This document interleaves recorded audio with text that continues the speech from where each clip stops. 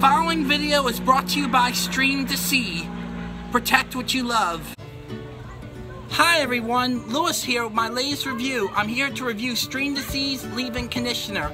As part of my wave maker kit that my good friends at Stream2Sea sent me, I thought I'd do their leave-in conditioner next. This conditioner can be used to protect your hair while diving, swimming, or even with the body wash and shampoo I previously reviewed. Like with conditioners and other body care products, conditioners also contain toxic chemicals like oxybenzone, which harms not only the environment but also our bodies too.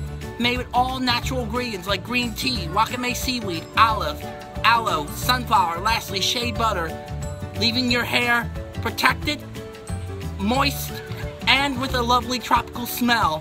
When you go to stream2sea.com, you can get a 10% discount when entering the coupon code It's Time for Adventure. I'll put the coupon code in the description below. If you like this video, please hit the like button below and be sure to subscribe to my channel, especially those with disabilities similar to mine. You can also follow me on Instagram, Twitter, and Facebook. As I always say, it's time for adventure.